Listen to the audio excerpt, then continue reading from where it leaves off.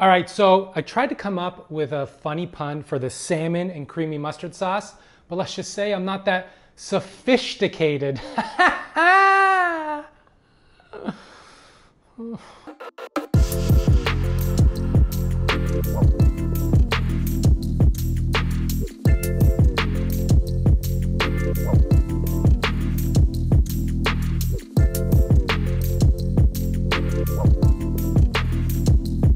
Hey everyone, Mark here, and today I'm gonna show you a pretty quick and easy salmon recipe that all can be done in one pan, and it has a nice velvety mustard sauce that is so good, you can just uh, grab a glass of it and drink it on its own.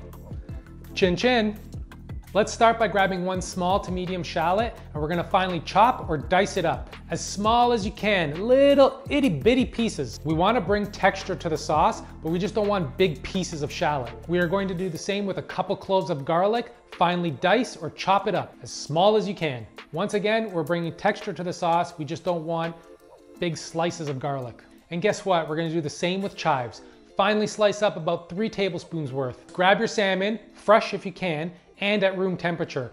This is gonna help with even cooking. We're gonna pat dry with paper towel to remove some moisture, and we're gonna season with salt and freshly cracked pepper.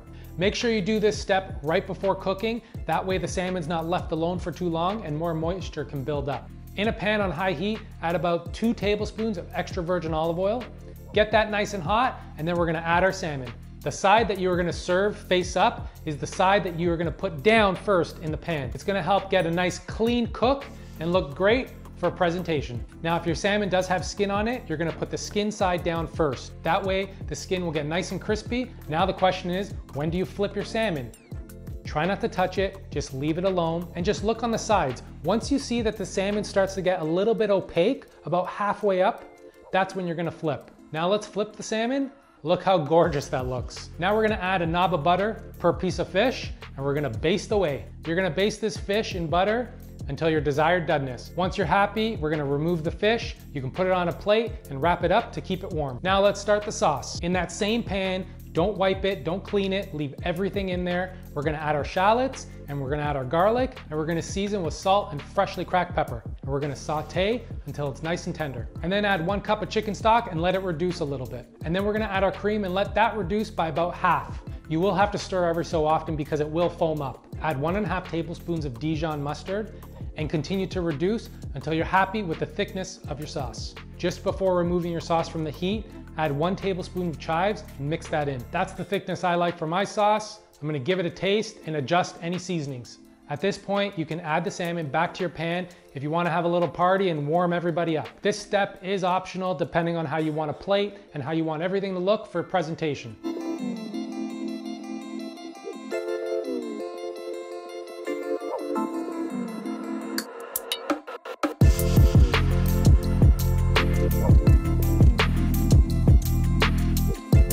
All right, there we have it. Look at this beautiful dish. Holy shit. Whew. Mm. Wow. The fish is cooked perfectly. The sauce complements it so well and you get that little kick from the Dijon. man, this is good. And come on, was it really that hard to make? Nah. So you gotta give this a go. And as always, the full recipe's in the description below. Please like and comment.